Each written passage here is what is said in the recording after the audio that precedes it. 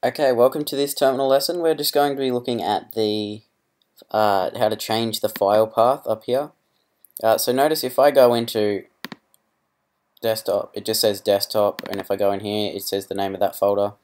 Um, so we're going to change that so it actually shows the file path. So we'll just go back to the Macintosh hard drive and bring up the terminal. And I just have to go back through here. And I'll put an annotation or a link or whatever uh, I'll put the code in the description so you can see it properly.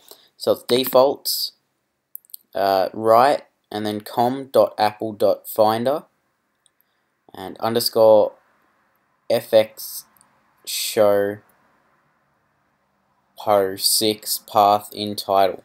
Yeah, so you'll probably have to copy and paste it because it's a bit of a mouthful. Uh, minus bool, yes. So to reverse it, all you need to do is type no, so if you're worried about that, don't. Uh, so once I click this, uh, just notice it says Macintosh hard drive, so yes. And now, well, it's not going to do anything yet because we need to kill it. Kill all finder. And reopens. There we go. So notice it was Macintosh hard drive before.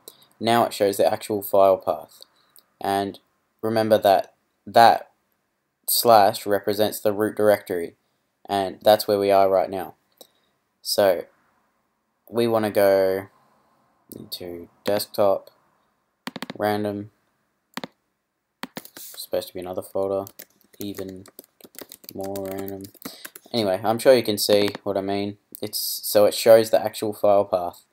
And if I type that file path into the what's it called terminal. So it's slash users slash and if you're still not used to the file path it just helps you you know get accustomed to it. So if you're not sure where you are you can just check up there desktop slash random slash even. Oh, I'll just go there uh, whoops. I supposed to CD.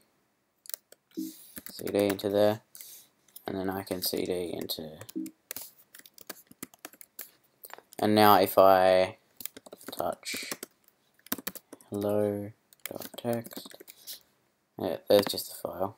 Um, yeah, that was just showing you how to make the file path rather than use the... But again, to cancel it, just type no, enter, kill all, finder, and now it's back to normal. So if you want it on, type yes again and do it. If you don't, turn it off. Thanks for watching, please like and subscribe.